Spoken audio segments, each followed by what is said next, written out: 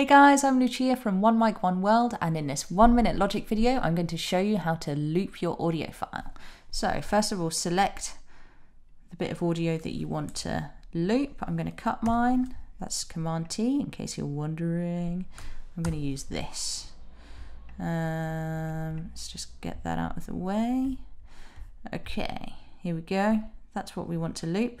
So, I'm hovering. Ah, that's what I'm after. So if you go to basically the medial, medial, the middle of the audio file, and then drag out from here, you can see that that is just looping over and over again.